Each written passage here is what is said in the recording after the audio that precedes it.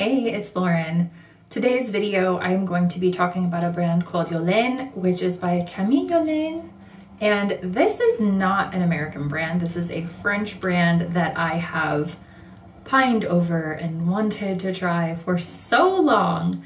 Um, and I finally just bit the bullet and ate the shipping costs because it's so stinking cute and I had to try it. So they are these beautiful little like paint tubes essentially. I mean, we've seen this type of packaging before with things like Glossier um, and some other brands have tried to emulate it in the drugstore like Maybelline and things like that.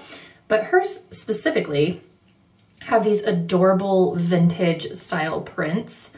Um, and I think that's one of the things that spoke to me so much from the brand. Camille herself is very into vintage fashion and her beauty aesthetic is very pared back face makeup with a punch of color on the lips and the cheeks, which is why we have this adorable line. So I picked up two of the shades. I picked up Daphne, which is described as a nude red, and Pivoine, which is this beautiful kind of pinky rose. So let me swatch both of these and kind of show you and play with these colors.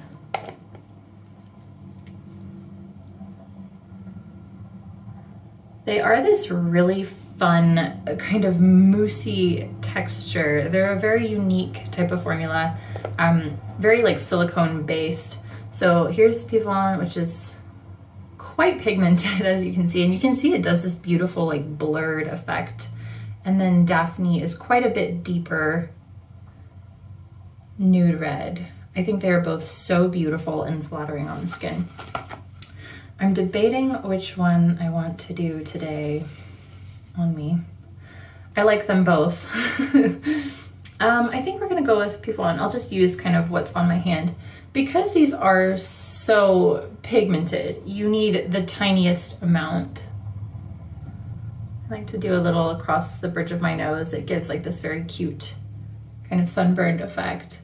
You can use a brush with these um, or your fingers, whatever is easier but they are super easy to use and very, um, I think, natural looking.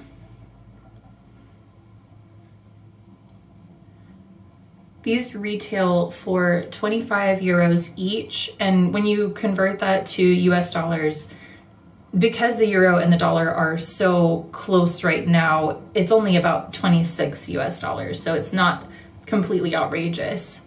I will say the shipping is 25 euros also to the US, which is like painfully expensive. I kind of justified it by imagining like breaking that down between um, both of the products. I also got the lip brush. This was a gift with purchase when you spend a certain dollar amount at the time that I purchased.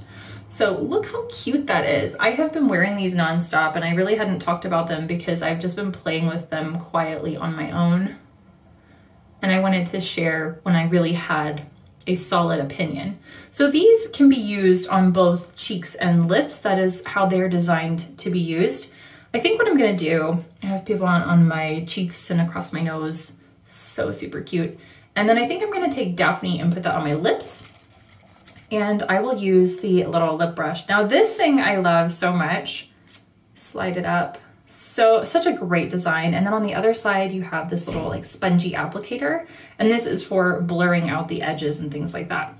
So I'm gonna just take this and dip it into Daphne, which I have on my hand. Need a mirror. Maybe not one that's like super zoomed in on my face.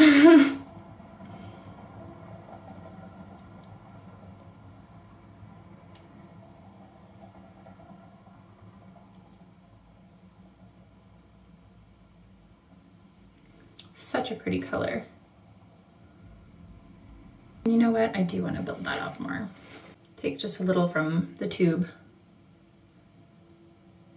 You can kind of see, because it has that kind of moussey texture, it takes a minute to kind of work it in.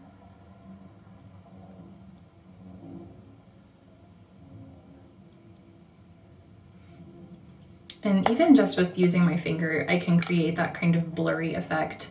But I'm also, just to show you, little sponge. I love the design of this. because if you are out and about and say you don't want to use your fingers on your lips, you have this little sponge. It's brilliant.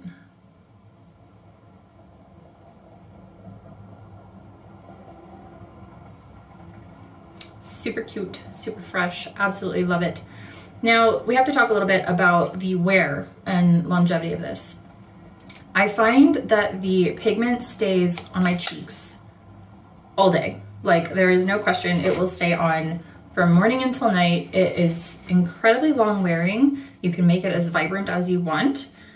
You can even see, like, as I'm trying to get off of my hands, it's like, it stays on really well. Now, the thing that I have struggled with with these is that it looks so beautiful on my lips immediately after I apply it, but what ends up happening as it wears and kind of settles and dries down is that it separates on my lip lines, like it separates out of them, and it sort of clings to the skin in between my lip lines. So I end up with this kind of gappy, textured appearance on my lips that I don't love. I love the initial application. I love the appearance. It has this kind of velvety matte look to it that I think is so beautiful. But unfortunately, this formula just doesn't really work well on my lips. Um, and just to show you guys, I'll do a check-in in a little bit um, and show you what I'm talking about because I think that can be kind of confusing the way I described it. Um, but on the cheeks, I think it is so beautiful. love the colors. That, that's the, the thing that I think I love so much about this line is the colors are just exquisite and the formula is fun to use. So yeah, I'll check back in in a little bit and show you what I'm talking about with my lips. All right, we are about two hours out from the application to my whole face and my lips. Um, as you can see, the color still looks really beautiful and vibrant, but I wanna show you a little closer up. It just starts to collect and gather where my lips touch. And it's really kind of hard to show you, but you can kind of see it starts separating and then gathering and clinging to other parts of my lips. And it creates a very textured lip appearance, which I don't necessarily hate, but it does start getting kind of patchy um, and just clinging to different areas. So that's kind of my thoughts on the wear on the lips.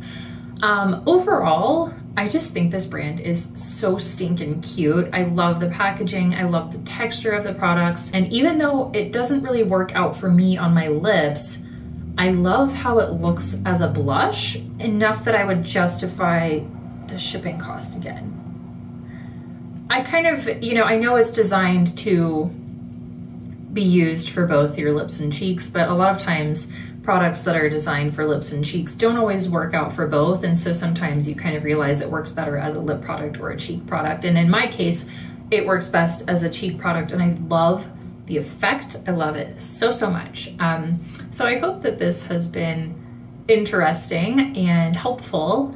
Um, and if you enjoy this type of content, please make sure to give my video a little thumbs up does help other people to find my channel. And if you want to see more from me, make sure you hit the subscribe button and I will see you next time. Thanks so much for watching.